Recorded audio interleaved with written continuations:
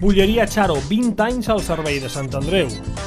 Especialitat en adobats, pollastres i conills farcits. Elaboració pròpia de menjar per preparar. Bulleria Charo. Ens trobaràs al Mercat Municipal de Sant Andreu de la Barca, parades 38 i 39.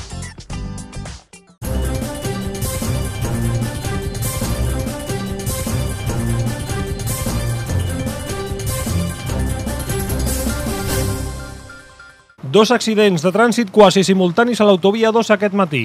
El primer vehicle ha volcat, com veiem a les imatges, just a la sortida de Sant Andreu, direcció Martorell, provocant que la conductora de 24 anys resultés ferida lleu. Els motius de l'accident estan sota investigació per part de Mossos d'Esquadra. En aquest accident s'hauria vist implicat un altre vehicle, un camió.